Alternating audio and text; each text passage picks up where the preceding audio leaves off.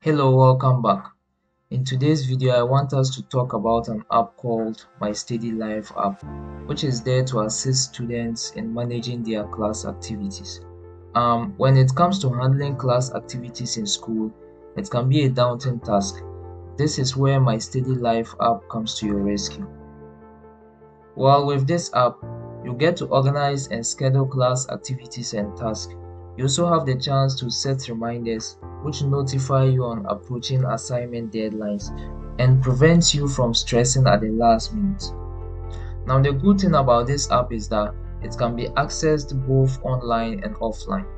The offline version works on mobile devices, be it Android operating systems or iOS operating systems. Now let's have a look at the app.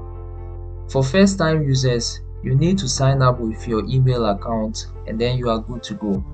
The dashboard menu is what you see first, which displays the lessons you have for the day, any tasks that are due in 3 days time, and any form of exams that will be happening in a week's time. You can set up your courses for the year by tapping on the schedule option that you find in the side menu. For a new academic year, you need to tap the three dots that you can find at the top right section and then select new academic year. You fill in the details with the start and end dates of the academic year and then you include the number of terms for the academic year.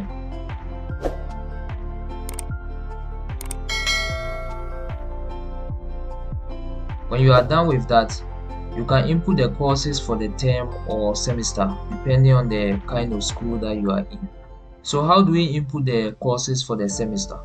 To do that, you need to tap on the three dots again and then you select manage subjects. Tap the plus sign at the bottom and then provide the course details including any color. After you fill in all your courses, you need to go back to the previous menu and then input the weekly schedule for your courses by tapping the plus sign.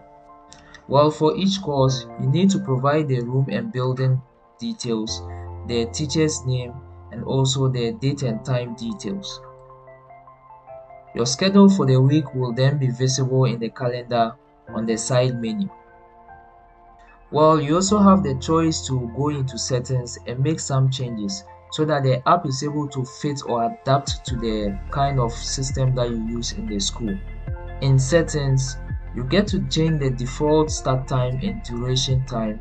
You also have the choice of changing your duration period for reminders and so many other options. In order to set an assignment, a reminder or a revision, head over to the dashboard and tap the sign at the bottom. Fill in the info of the assignment and then tap on save. The app will then notify you when the time comes. Well, if you would like to try the online version, you can access it on their website. I'll provide the link in the description section. Thank you for watching this far. If you haven't subscribed to the channel, make sure to do so. Like the video, drop your comments and share. See you in the next video.